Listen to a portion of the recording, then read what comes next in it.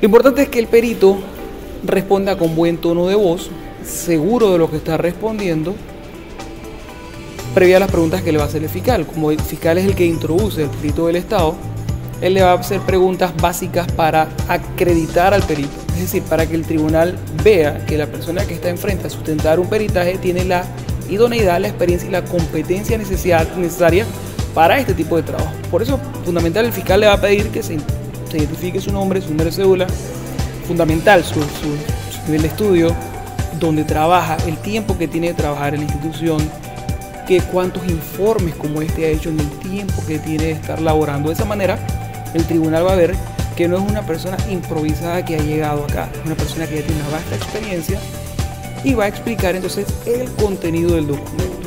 Se está tratando de llevar a que los peritos tengan un amplio manejo en cuanto a las técnicas de litigación, cuál va a ser su intervención en juicio y la manera de cómo expresarse.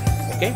Ese trabajo profesional realizado de manera escrita, cómo, ser, cómo transmitirlo al tribunal y que así el tribunal tome una decisión en cuanto a los delitos contra la administración pública.